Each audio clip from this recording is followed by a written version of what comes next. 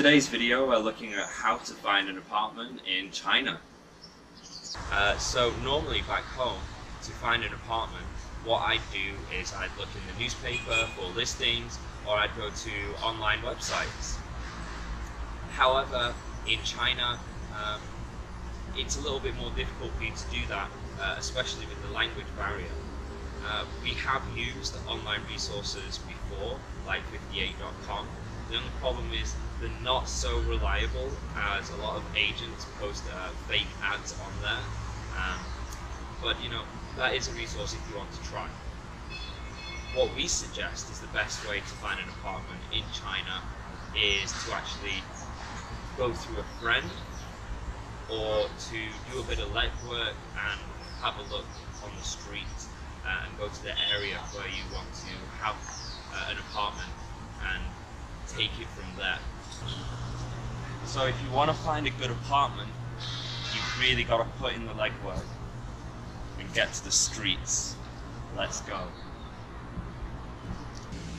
So once you've chosen your area, what you want to do is to have a look around and find a real estate agent uh, and go talk to them and they'll show you listings of that area. Place like this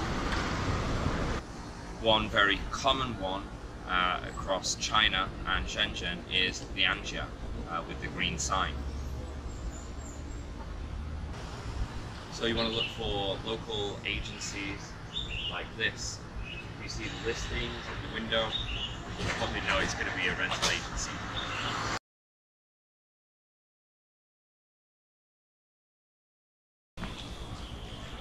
So when you found an area that you like, uh, what you can do is go around and look at the different apartment complexes.